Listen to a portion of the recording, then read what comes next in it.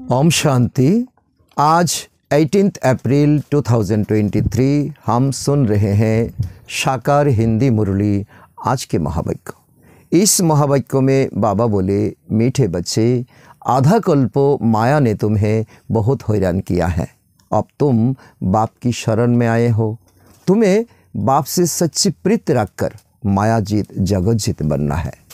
प्रश्न, संगम युग पर भगवान को भी कौन सी मेहनत करनी पड़ती है? उत्तर, आत्मारूपी मेले कापरों को साफ़ करने की मेहनत करनी पड़ती है। तुम बच्चे बाप के पास आए हो ना? अपने पापों का खाता साफ़ करने।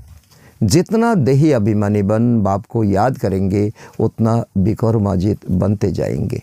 अगर बुद्धि का योग बाप के सिवाय और किसी के संग जोड़ा तो भस्मासुर बन जाएँगे। इसीलिए श्रीमत पर चलते रहो। आज का गीत ओम नमः शिवाय, ओम शांति। तुम बच्चों ने सहारा लिया है ना? बाप का अथवा बाप की शरण में आए हो। यह स्मृति तुम्हारा सदा सर्वदा रहना चाहिए। यह कोई लौकिक बाप नहीं, यह है पारलौकिक बाप। तुमको माया ने आधा कल्प तोंग किया है ना? तुम बच्चे ही जानते हो, यह है दुखोदम, आशुरी दुनिया। कल्प कल्प तुम बच्चे बाप के पास आकर शरण लेते हो। तुम शरणागति हो। माया ने महान दुखी बनाया है, तुम्हारी जो भी इज़्ज़त थी, वो माया ने बर्बाद कर दिया है। यह तुम बच्चे ही जानते हो, जब मनुष्य दुखी होते हैं ना तो जाकर दूसरे के पास शरण लेते हैं। ये दुनिया का नियम है। यह भी, यह तुम भी आधा कल्प से माया की शरण में थे। जिसकी शरण में अब तुम आए हो, वो बेट आत्माओं को समझाते हैं, वो तुम्हारा पिता परमात्मा। दुनिया वाले नहीं जानते कि हम कब से दुखी बने हैं? कैसे दुखी बने हैं? हम स्वर्ग के फूल थे ना? फिर माया कैसे आकर के कांटा बना दिया? ये अभी तुम बच्चे समझ सकते हो, जब तुम स्टूडेंट बन चुके हो, जब तुम ब्राह्मण बन चुके हो, परमात्मा से ज्ञान सुन रहे हो, फिर भी फिर भी मनुष्य हो। जानवर तो नहीं हो ना? तुरा समझाने से तो तुम्हारा समझ आ जाता है। बच्चे कहते हैं, तुम मात पिता हम बालक तेरे तुम्हारी कृपा से हमारा सुख धन हम आपकी शरण में आए हैं। तो बच्चा का ये अनुभव होता है, हमारी रक्षा करो हे प्रभु। तो इस माया रावण से हमें सुख का दुनिया में ले चलो। ये तुम्हारी मुख से आता है। परमपिता, परमात्मा तुम्हारी इतना शरण देता है जो तुम खुशी से गदगद हो जाते हो। बरोबर, अब तुम बच्चों को माया से मुक्त कर स्वर्गों की मालिक बना रहे हैं परमपिता, परमात्मा। माया ने तुमको बहुत तंग किया है ना? भगवान को भगवान को भक्त तो याद ही तब करते हैं जबकि तंग होते हैं। है तो ड्रामा अनुसार, जो स्वर्ग के थे, उन्हों को ही माया दुश्मन बना दिया। ये कोई भी नहीं जानते कि आधा कल्पों की ही माया दुश्मन है। ढाई हज़ार साल तुम्हें बहुत परेशान किया, तुम्हें कोरी तुल्य बना दिया। ये बड़ी गुज्जो बात है। वास्तव में तुम्हें इस समय समझने का है। आधा कल्प से तुम बहुत याद करते आए हो कि हम इस आफ्ते से कैसे छूटे। तुम फील करते हो बार बार परमात्मा को तुम पुकारते हो, लेकिन विधि को तुम समझते नहीं हो। बाबा आकर हमको अपना बना करके स्वर्गों का वर्षा देते हैं। तुम सब इस समय रिफ्यूज़ी हो। आजकल रिफ्यूज़ी बहुत बनते हैं। जाकर इस्लाम अथवा शरण लेती हैं, सरकार भी उसको शरण देती हैं। तुम जानते हो माया ने भारत को बहुत दुखी बना दिया है। भारत में जब स्वर्ग था ना तो देवी देवता बहुत सुखी थे। ये, यूरोपियन लोग भी जानते हैं कि भारत बहुत प्राचीन देश है। अब हम लोग नहीं थे तो सिर्फ़ भारत ही था। ये मानते हैं। और शास्त्रों में भी है, प्राचीन भारत बहुत मालामाल सुखी था, जिसको ही स्वर्ग कहते हैं, हैबिन कहते हैं। तो पाँच हज़ार वर्षों की तो बात है। अभी तो वही भारत कंगाल कोरी तुल्य बन गया। कितना अफसोस का बात है। किसने बनाया? ये बात तुम नहीं जानते हो। माया रावण ने बनाया। परमपिता परमात्मा करके ये खुल्लम खुल्ला बात करते हैं। आधा कल्पों से भारत गिरते गिरते अब कोरी तुल्य हो गया है। बाबा कहते हैं, आधा कल्प से तुमको माया ने हैरान किया है बच्चे। अब तुम अब तुम प्रभु का इस्लाम मांगते हो। भगवान आओ, हम आप पर बलिहार जाए। तुम जैसे कहोगे, हम ऐसा ही मानने वाले हैं। भारत को फिर से हीरे जैसा परमपिता परमात्मा ही बनाते हैं। इसलिए भक्तों भगवान को याद करते हैं, हे ईश्वर, शरण लो। कहते भी है ना, लाज रखो। कृपा करो। आप रहम दिल हो ना, आप दया का सागर हो। फिर कह देते हैं सर्वव्यापी। तो ये तो अर्थ अनर्थ हो गया ना, इसको धर्मग्लानी कहा जाता।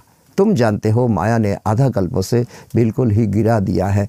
बाबा कहते हैं, बच्चे कल्प कल्प ऐसे जब भारत धर्म भ्रष्ट कर्म भ्रष्ट बन जाता है तब मैं परमधाम से लौट के आता हो। तुम्हें रक्षा करने के लिए नया धर्म प्रतिष्ठा करने के लिए अपने धर्म को तुम नहीं जानते हो। कितना तुम कंगाल बन गए हो। माया रावण कैसे तुम्हें बेसहारा बना दिया। यह है भावी। ये ड्रामा में नोद है जब धर्म लोप हो जाए तब तो, तो बाप आकर के फिर से स्थापन करे ना। बाकी कोई धर्म स्थापक बाकी कोई धर्म स्थापक धर्म और राज्य स्थापन नहीं करते। एक परम पिता आकर के धर्म और राज्य एक साथ स्थापन करते। तो अब वो धर्म प्राय लोप हो गया है। यह ड्रामा अनुसार ही होता है। तो भी बाप आकर के फिर ब्रह्मा द्वारा स्वर्ग की स्थापना शंकर द्वारा नरक की विनाश कराते हैं। अभी विनाश का समय है ना? विनाश करे विपरीत बुद्धि बन पड़े हैं सारी लोग। और तुम्हारी प्रीत बुद्धि है, तुम पांडव संप्रदाय हो। सर्वशक्तिमान परमपिता परमात्मा की, तुमने शरण ली है ना, माया पर जीत पाने के लिए। तुम्हारा अभी चर्चा चल रहा है। तुमको सहज राजयोग और ज्ञान मिलता रहता है परमपिता परमात्मा से। बाबा कहते हैं, तुम मुझ बाप को भूल गए हो।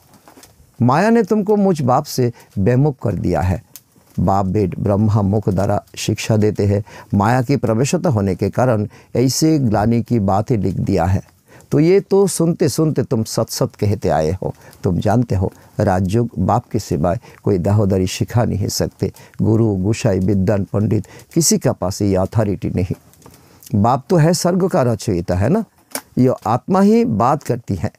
तुमको देही अभिमानी बनाते हैं इस समय। तुम्हारा कितना बड़ा प्राप्ति हो जाता है। आत्मा ही संस्कार ले जाती है। आत्मा ही लेपछेप में आती है। तो वो समझते हैं जो भक्ति करने वाला, जो उल्टा चलने वाला, वो समझते हैं आत्मा निर्लेप है। बाकी शरीर पर कुछ ना कुछ दोष लगता है। तो उसके लिए वो जाकर के घड़ी घड़ी गंगा स्नान करते हैं। परंतु गंगा जल से तो आत्मा का पाप काट ना सके। इसीलिए बाबा कहते हैं, देह शहीद सबको भूलो। ये, इस समय तो तुम्हें मोहजित बनना चाहिए। अपने को आत्मा निश्चय कर, मुझ परमपिता परमात्मा शिव को याद करो। शिव है तो निराकार। शिव जयंती भी मनाते हैं भक्त लोग, परंतु कोई भी नहीं जानते उनका बायोग्राफी उनका उनका रूप, उनका धाम, उनका काम। सोमनाथ का मंदिर इतना बड़ा है, परंतु कब आए हैं वो? तो क्यों सोमनाथ रखा गया? कैसे आए? क्या आकर के किया? कुछ नहीं जानते। तो ज़रूर कोई शरीर में आए होंगे। तो तो मनुष्य है ना? तो मनुष्य का साथ बात करने के लिए तो मनुष्य का भाषा ही होना चाहिए। सर्वव्यापी के ज्ञान ने सब बातों को भुला दिया है। अब बाबा कहते हैं, श्रीमत पर चलो, शिव बाबा इस शरीर में प्रवेश कर तुमको नॉलेज दे रहा है। ये शरीर लोन लिया है। लोन लिया है तुम्हें राजयुग सिखाने के लिए। इस रौत में रथी बन तुमको ज्ञान दे रहा है। बाकी कोई घोड़े गाड़ी आदि का कोई बात नहीं, जो शास्त्र में दिखा दिया, कुरुक्षेत्र युद्ध बना दिया। तो उनको भागीरथ अथवा नंदीगण भी कहते हैं। कहते हैं, भागीरथ ने गंगा लाई। कोई माथे से थोड़ी ही निकाल सकते हैं। इसीलिए बाप कहते हैं, इन वेद शास्त्रों आदि पढ़ने से मेरी को कोई प्राप्त तो नहीं कर सकते हो। तीर्थ, जप, तप, भक्ति करने से कोई मेरे से मिल नहीं सकते। ये बात बाबा ने बता दिया, मेरी को तो आना है तो मुझे पहचानना है, मेरी बात सुनना चाहिए। तुमको आकर शरण लेते हैं, तुम आकर तुम शरणागति होते हो। तुमको मनुष्य थोड़ी ही जानते हैं कि रावण क्या चीज़ है। अब तो रावण राज्य है ना? सभी भूल गया है, रावण क्या है, रावण तुम्हें इतना रसातल में लिया, वास्तव में तुम भूल गए हो। रावण की आशुरी मत पर चलते, चलने वाले हैं ना? अभी तुम श्रीमत से एक और जन्मों के लिए श्रेष्ठ ते श्रेष्ठ बन रहे हो। आशुरी मत द्रापर से शुरू होती है, जिसको तो विशेष वर्ल्ड कहा जाता है। जो दुनिया सर्गो था, वो विशेष वर्ल्ड बन गया। विशेष वर्ल्ड स्थापन करने वाला है रावण वाइसलेस वर्ल्ड अर्थात निर्विकारी दुनिया बनाने वाला है राम, शिव बाबा। तो गीत भी तुम सुना है ना? शिवाय नमो, ब्रह्मा, विष्णु, शंकर देवताए नमो कहेंगे। ऐसे नहीं, ब्रह्मा, परमात्मा नमो कहेंगे। नहीं, परमात्मा तो एक है। परमात्मा के लिए अलग मंत्र है। सबका बाप है ना? अब तुमको बाप से वर्षा मिल रहा है। यह पाठशाला है। मनुष्य से देवता बनने की गॉड फादरली कॉलेज है। प्रजापिता ब्रह्मा कुमारी ईश्वरीय विश्वविद्यालय लिखा हुआ है। भगवान वाचो है ना? रोज आकर के यहाँ पढ़ाया जाता है। नाम ही लिखा हुआ है ईश्वरीय विश्वविद्यालय। एम ऑब्जेक्ट भी लिखी पड़ी है। नर से नारायण और नारी से लक्ष्मी बनना। तो तुम फिर से नर से नारायण बनने हो। लोग क्या करे, ना करे तो तुम्हें तो पूरा लक्ष्य पर चलना चाहिए। श्रीमत पर चलने से तुम श्रेष्ठ बनेंगे। इसलिए बाबा कहते रात को भी जाग करके बाप को याद करो। माथे पर बहुत बोझ है ना? बाबा हमको, हम आपको ही याद करेंगे। तुम्हारा ये अनुभव हो जाता रियलाइजेशन हो जाता। आपके पास ही आना है, फिर आप हमको स्वर्ग में भेज देंगे। तो बाबा का प्रति तुम्हारा बहुत निश्चय बढ़ जाता है। बाबा तो माताओं द्वारा स्वर्गों की स्थापना करते हैं माताओं द्वारा स्वर्गों की गेट खोलने वाले। तुम योग में रहो करके तो भारत को पवित्र बनाएँगे। तुम्हारी योग के, योग की शांति से फिर एक जन्म भारत में शांति होती है। वहाँ माया होती नहीं, कोई दिमौत होती नहीं, एक राज्य होगा, एक भाषा होगा तो सदा सुखी रहते हैं, कोई विषय वैभव का कोई कमी नहीं होगा। देह अभिमान के कारण ही मनुष्य दुखी बनते हैं और बाप तुमको देही अभिमानी बनाते हैं। सतयुग में जो दैवी गुण वाले थे, वो अभी आसुरी गुण वाले बन पड़े हैं। अब तुम फिर से शिवालय, स्वर्गों का मालिक बनने के लिए बाप से वर्षा ले रहे हो। यह कॉलेज है। ये कॉलेज है, यूनिवर्सिटी है। जब तक विनाश हो, बाप पढ़ाते रहेंगे। क्योंकि आधा कल्प का सिर पर बहुत बोझ चढ़ा हुआ है, वो मिट नहीं है। मेहनत लगती है ना, इस समय सब पाप आत्माएँ हैं, पवित्र आत्मा एक भी नहीं, सारा दुनिया ढूंढ लो।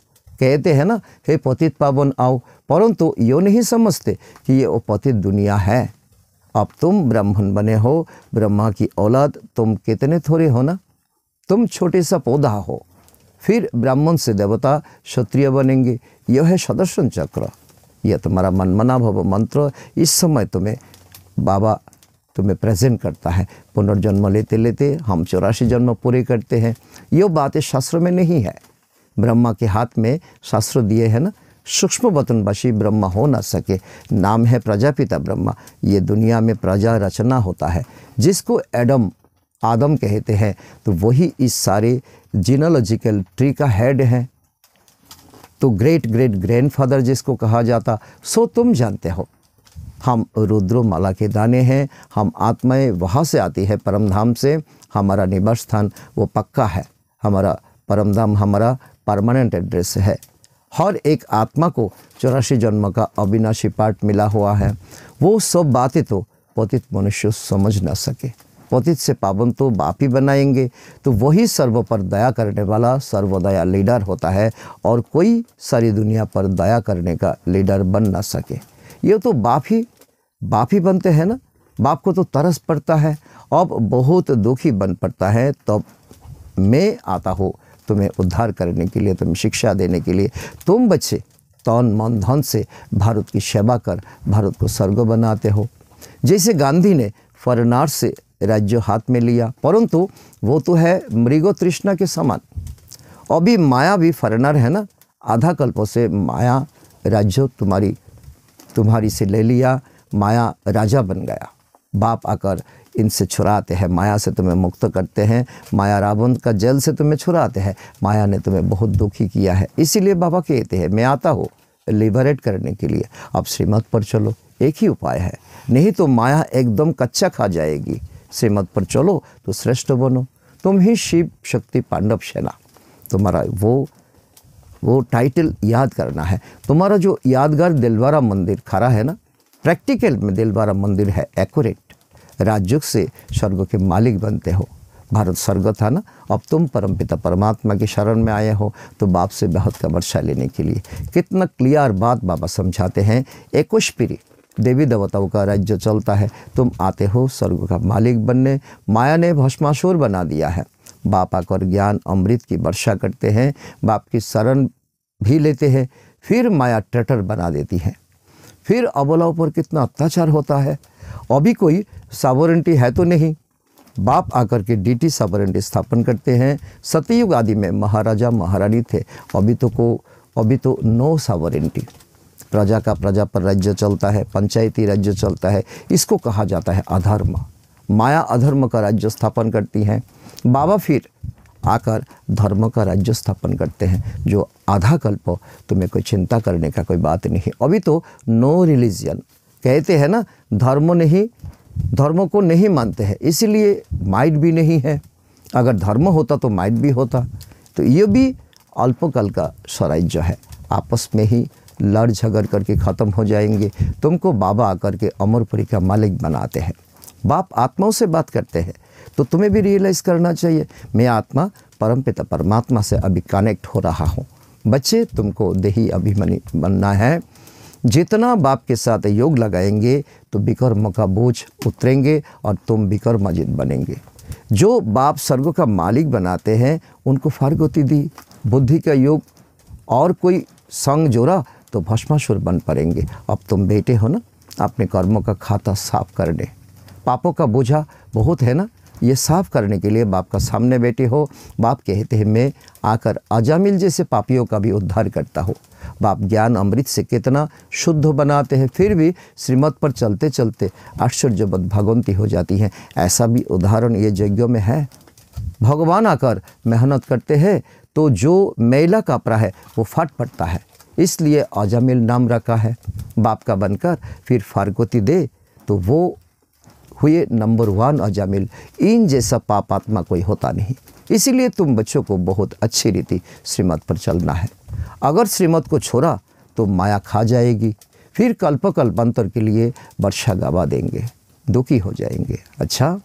मीठे मीठे सिकेलदे बच्चों प्रति मात पिता बाप दादा का याद, प्यार और गुड मॉर्निंग। रूहानी बाप की रूहानी बच्चों को नमस्ते।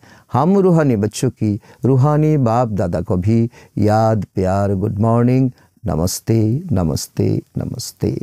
धारणा के लिए मुख्य सार एक नंबर। तन, मन, धन से भारत की सेवा कर, इसे स्वर्ग बनाना है। माया दुश्मन से लिबरेट करना है। नंबर दो, देही अभिमानी बनने के लिए देह सहित सब कुछ भूलना है। जो भी पुराने कर्मों का खाता है, उसे युगोबल से साफ़ करना है, विकर्माजित बनना है। वरदान, एक बाबा शब्दों की स्मृति द्वारा कमज़ोरी शब्दों को समाप्त करने वाले सदा समर्थ आत्मा भव। जिस समय कोई कमज़ोरी वर्णन करते हो, चाहे संकल्पों की, बोल की, चाहे संस्कार स्वभाव की तो यही कहते हो कि मेरा विचार ऐसा कहता है, मेरा संस्कार ही ऐसा है, लेकिन जो बाप का संस्कार, संकल्प, सो मेरा, ऐसा होना चाहिए। समर्थों की निशानी ही है बाप समान। ये बहुत बड़ा एग्ज़ाम्पल तुम इस समय लेते हो और तुम कंप्लीट होते हो। तो संकल्प बोल, हर बात में बाबा शब्द नेचुरल हो और कर्म करते, करण, करावन हर की स्मृति हो तो बाबा के आगे माया अर्थात कमज़ोरी आ नहीं सकती। स्लोगन, जिसके पास गंभीरता की विशेषता है तो उन्हें हर कार्यों में शतो सिद्धि प्राप्त होती है।